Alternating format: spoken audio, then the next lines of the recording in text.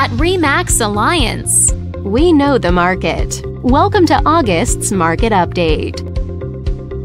Let's take a look at residential real estate activity in your area during the month of July. The number of active listings was down 65% from one year earlier and up 14% from the previous month. This recent increase reflected a larger selection of homes for buyers to choose from. As you can see, the median listing price for the month was just under $570,000. Compared to last year, the average number of days units spent on the market before being sold was down 38%. This lower number of days may signal a positive trend in the local inventory turnover rate. The median sale price was just under $440,000.